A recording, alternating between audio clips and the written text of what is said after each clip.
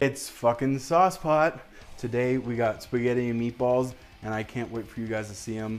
I just walked super close to the camera, but that's okay. I got milk, I got eggs, I got everything. Why do you even need that? I don't know. Maybe you'll find out. Maybe you won't. I don't even know what I'm talking about. Do you like the mustache? I like the mustache. Maybe I don't like the... I'm gonna shave it. I'm gonna shave it. You guys will see me with a Shane Cleave and...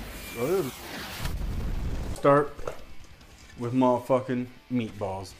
Meatballs are good for subs, for men, for women, for children. We're gonna make them. So if you wanna come on over here, I got two things of 80-20 ground beef and one thing of 93.7, just to give it a little bit more fat. We're gonna start out with some panko breadcrumbs, Italian style. Throw them in the there. Uh, maybe don't use all of it. And then I got salt, garlic powder, black pepper, uh, red chili flakes, crushed up garlic, dried crushed up garlic, and then a little bit more Italian seasoning. You really kind of want to get these all flavorful. Um, I don't use bread because I think bread is for the devil and I'm not about it. So I think dry panko breadcrumbs are gonna be perfect. Um, I'm gonna crack three whole eggs in there and then add some milk, mix them up, and come on over. Crack them this way. You can crack 'em that way. And we've all done this. Introducing Easy Cracker. See that right now. Got some eggs going in there. You wanna get the shells in there, preferably too. Oh my goodness, I'm not even a chef. Oh, I did that with one hand. Do you guys see that? I'm fucking sick. Alrighty, get some milk in there. And we're just gonna mix this all together. Just get that all.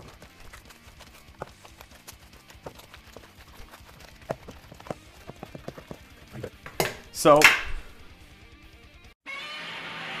whatever. Uh, I got it all mixed up. I'm gonna show you guys how to roll some balls out. Got a nice little rotation shit going on right here. Oh, we're getting wild and wacky. But just take some uh, cooking spray, whatever you got. Really just like massage up the hands with some oil on them. And then you won't have any meat stickage. And if you had oil going, you can fry up your hands. There's meat getting everywhere. So I got about, I don't know, two ounces on these meatballs here. You can make them bigger, make them smaller, make them however you want. And we're gonna get them on a lined baking sheet and we're gonna bake these for about 10 minutes at 450 and then we'll braise them in a sauce. Yeah, I'm making my own sauce. Don't ask about the noodles. Don't have the equipment or the time or the knowledge really. Really, I don't, I don't have the knowledge on making nothing or from nobody. But that's gonna be a cut right here.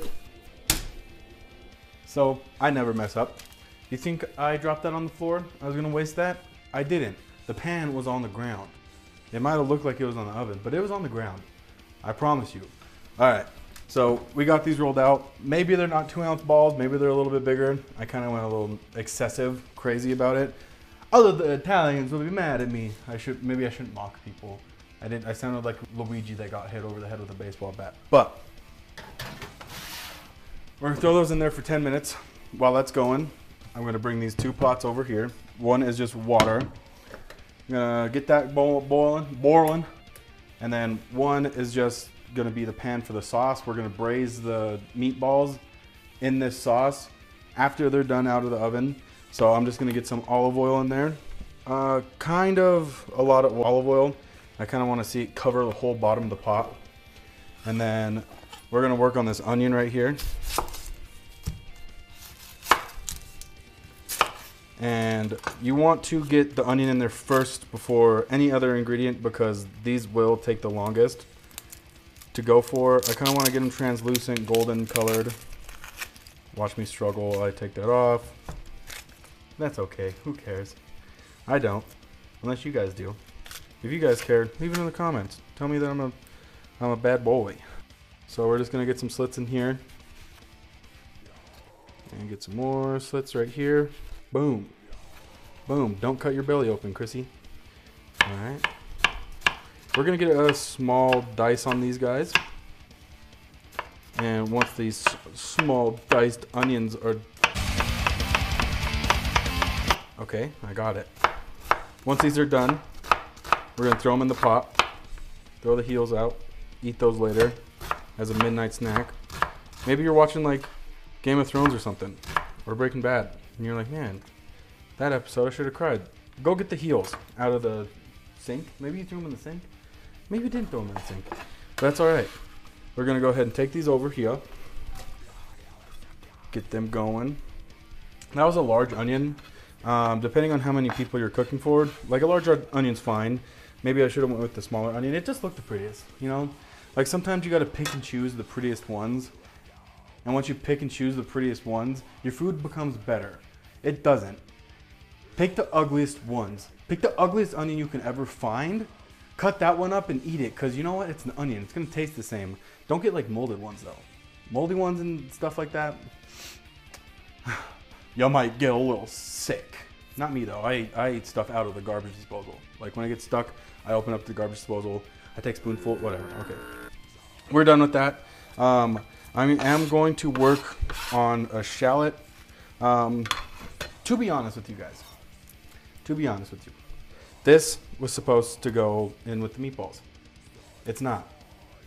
So we're gonna be throwing a curveball. We're gonna cut that open. Get that to the side. Look, guys. Maybe I should cut and just like clean this up. But I'll do it all in one go. There ain't no point in doing it all separate occasions. And I'm just gonna thinly slice this up, and you guys are gonna see the next episode. Episode? Next cut right now. I got the smallest spatula I could find. It's kind of cute. It's got me on it if I had a white beard. But I got the onions kind of to where I want them. They're browning a little bit. You don't want too much color on them. You do kind of just want them translucent, like I said. I'm gonna get this garlic working. Just super thin, about five cloves will be fine. You know the hardest part about making these videos? I know everything. And I have to teach you guys. So maybe I forget to like put stuff in there, or maybe I forget to just like be informative. That's probably not even a word. But what I do know is this turns out great. So if you can jumble all the words that I put together and put them in a cooking book, it would turn out perfect. But all the stuff in between that I talk about, honestly, don't know if that needs to be in here. But we got it. You know, that's what we got. We got it. Oh my goodness. Don't look over in this pan. Maybe it's a little burnt. Ah, you guys didn't see nothing. See how I talked about how I know everything. It's probably not the truth. You want to know why it's not the truth? Because if I knew everything, I knew those were burning. They're probably scorching right now. They're probably burning. This is going to be ruined. I'm going to have to fend for myself. Hey, I told you not to look in there. It's actually not that bad. It's pretty not that it, pretty not that bad. It's really not that bad. So we're gonna keep moving on here. I got some tomato paste. Uh, if you want, you can skip this part and just go straight sauce, but I think this adds like a nice richness to it. Firstly, make a little spot and get this tomato. Oh, I missed. Get this tomato paste in the center. Get all of it out. Let that go for one second while I throw this into the sink. You just want to cook this out. So this is just like flour or anything. Uh, you kind of just want to mush this together, get everything kind of incorporated. Try to get this all nice and loose. And you just want to cook this down a little bit because it can be bitter if you don't cook it down all the way. So we're just going to mix this around. And once it's cooked down, because it takes about two minutes, two and a half minutes. But once it all breaks down and everything, I will show you guys the next steps. I love every single one of you, except for you. But I love you guys. So I got it kind of to the looseness that I want it to. So go ahead and just take any generic like pasta sauce you want. If you want to if you want to crush any of your own tomatoes and stuff, you're more than welcome to. I'm gonna just get that in there. Mix her around for a sec. And then scrape all the fond off of the bottom of the pot to add more flavor and stuff into it. I'm gonna go over here. Don't get the sink. Don't get the sink. Okay, shouldn't get the sink. I'm just going to fill this up with some water and put it back in. And don't worry about it being loose. You guys are probably like, oh my goodness, like this is so loose. This is a loose sauce. Christian, you like misled us uh, in, in this in this whole scenario. You misled us. It's a loose sauce. It's gonna cook down. Wow, did I do that? I made a fucking mess. That's all right. But it's gonna it's gonna cook down. It's gonna become a sauce. It's gonna boil away. All this all the water in the pot is gonna just simmer down and break down and look like a perfect, beautiful tomato sauce that you can spread on anything, your body, your car, maybe even toenails. Like paint them up, paint them up. But uh, I'm gonna let this go. I'm gonna clean up one more time. Sorry for the, the, the cut. I had to cut one more time, but we'll be on to putting everything together because the water's boiling. So maybe I'll show you guys that. The water's boiling. Give this about eight to 10 minutes. Um, this will be going off here soon. Sorry, I know I said I was gonna cut it, but I'm not. So, salt your water. Get some olive oil. Put it in there. It'll help it from not sticking. And then now, we'll go ahead and hit it with a cut. Love ya. You kind of know that this is done when you can...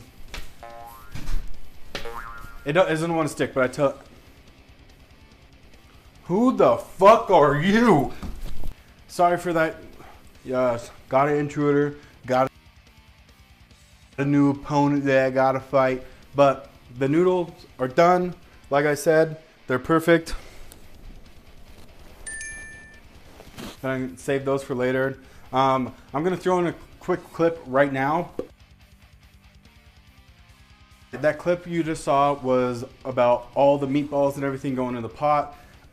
I lost all the footage for me doing that, but I did. They're good. Uh, I preferenced in there that baking them, it's like no mess at all. You just throw it in the oven, everything's perfect. The bottom gets brown and crispy and caramelized. It's amazing. So if you want to come look over here, they're all sitting pretty.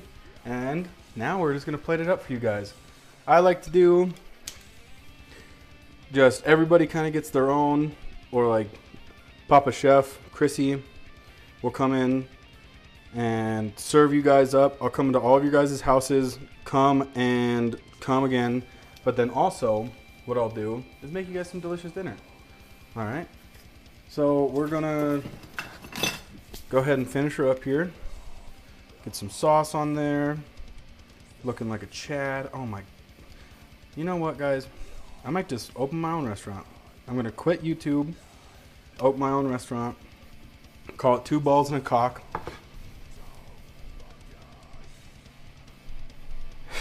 And just serve this. And just serve this.